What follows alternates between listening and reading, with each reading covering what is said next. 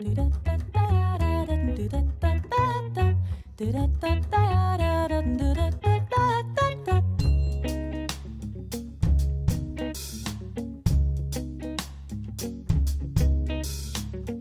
upon a time there was a little girl.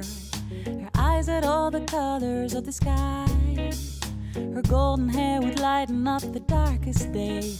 And with a smile she would enchant you right away. Everyone already knew she was a special one the day that she was born. She could see the world in colors we would never see. She was wiser than the oldest man in town. She walked around, looked up and down, and saw it all. But sometimes the color made her feel so down. And she would point at the sky, and with a sigh, it'll change from gray to blue.